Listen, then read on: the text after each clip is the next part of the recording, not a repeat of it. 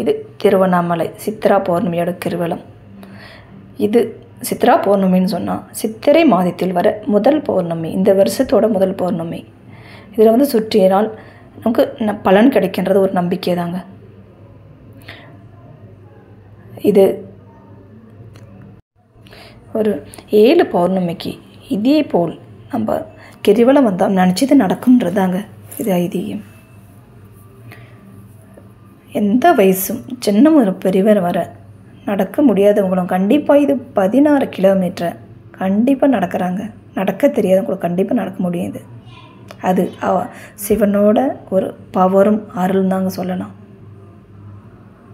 இவ இந்த மலையை சுற்றி பல தெய்வங்கள் இருக்கிறது. முழு முதலாக முதல் விநாயகப் பெருமானும் முருகப்பெருமானும் காயத்ரி தேவியும் காளி தேவியும் எல்லா தெய்வங்களும் இருக்கிறாங்க. நம்ம எல்லா தெய்வத்தையும் பிரார்த்தி பிரார்த்திச்சுட்டு ஒரு சந்தோஷத்தோடு அடியார்களுக்கு நம்மளால் முடிஞ்ச தானத்தை கொடுத்துட்டு வருகிறோங்க. நம்பிக்கை வச்சா நம்ம நினச்சது கண்டிப்பாக நிறைவேறும். இதுதான் சிவனோட பவர் முடிஞ்சால் நீங்கள் ஒரு டைம் ஆகுது இந்த கிரிவலத்தை வந்து பார்க்கணும். கண்டிப்பாக நீங்கள் செய்யணும். செஞ்சு பார்த்துட்டு உங்களோட அனுபவங்களை சொல்லுங்கள் இது சும்மா இல்லைங்க. கண்டிப்பாக சிவனோட அருள் இருந்தால் மட்டும்தான் அந்த கிரிவலத்துக்கு போக முடியும். இது என்னோட அனுபவம் கூட.